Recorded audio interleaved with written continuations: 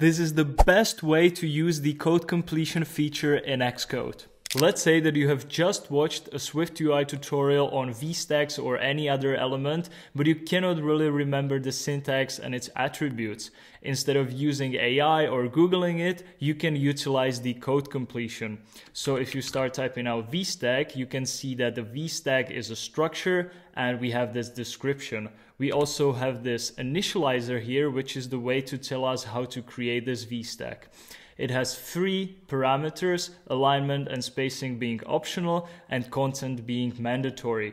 Now you can also see the data types for the parameters, which you can then research in the Apple official documentation. So when I hold the option key and enter here, I'm going to get all this stuff filled in for me and now I just have to set the parameters. This is a very great way to learn the Swift UI framework.